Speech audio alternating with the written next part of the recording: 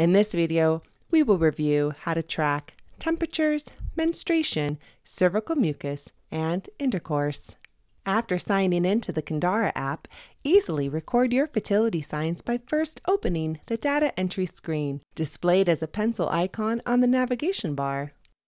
To track temperature data, find the Temperature section and tap the empty space next to the Fahrenheit or Celsius symbol.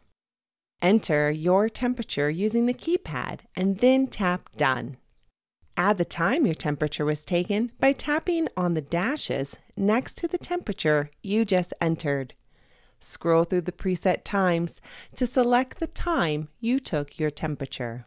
Use the menstruation section to keep track of your period. Track period data such as spotting days during your cycle by selecting the spotting option. By selecting light, medium, or heavy, the Kindara app will automatically start a new cycle. Track your cervical mucus daily by selecting one of the following options in the cervical mucus section. None, sticky, creamy, egg white, or watery.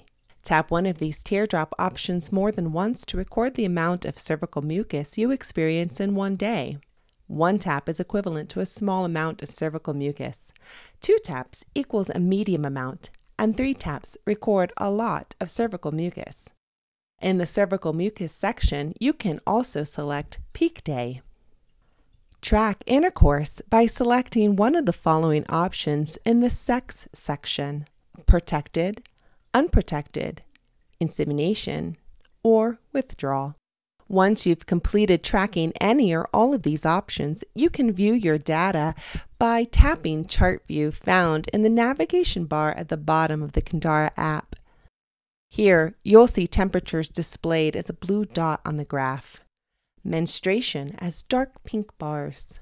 Cervical mucus displays as gray bars if the None option was selected, or a series of different peach tones for each of the cervical mucus options and different heart icons display below the graph to show intercourse data. Sign up below to learn how to use the fertility awareness based method and Kindara to achieve your goals.